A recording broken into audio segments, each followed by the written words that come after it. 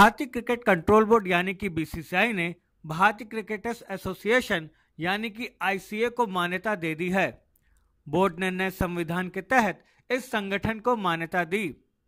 ICA पूर्व खिलाड़ियों के हितों की देखभाल के लिए बनाई गई है। हालाँकि फेडरेशन ऑफ़ इंटरनेशनल क्रिकेटर्स यानी कि एफआईसीए से इस संगठन का कोई ताल्लुक नहीं है। आपको बता दें कि ज़्यादातर क्रिकेट खेलने वाले देशों में ऐसे संगठन सभी खेलों से जुड़े पूर्व खिलाड़ियों से संबंधित होते हैं। बोर्ड ने आईसीए को आधिकारिक तौर पर मान्यता दे दी है। ये एक गैर लाभकारी कंपनी होगी, जिसे 5 जुलाई 2019 को कंपनी एक्ट 2013 के सेक्शन 8 के तहत शामिल किया गया है। आईसीए को मान्यता देने वाले अपने नोटिस में बीसीसीआई ने यह साफ़ कर दिया है कि उसके अगले नोटिस तक बीसीसीआई आईसीए के अलावा पूर्व क्रिकेटर्स के किसी और संगठन को मान्यता नहीं देता है। आईसीए का संचालन बीसीसीआई के संचालन से अलग स्वतंत्र रूप से होगा और इस संगठन को अपने फंड्स खुद जुटाने होंगे।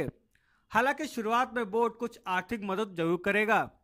इस संगठन में फ़िलहाल पूर्व क्रिकेटर कपिल देव, अजित अरकारकर और शांता रंगा स्वामी शामिल हैं। इस समिति के चुनाव होने तक ये तीनों सदस्य अपने अपने पदों पर बने रहेंगे।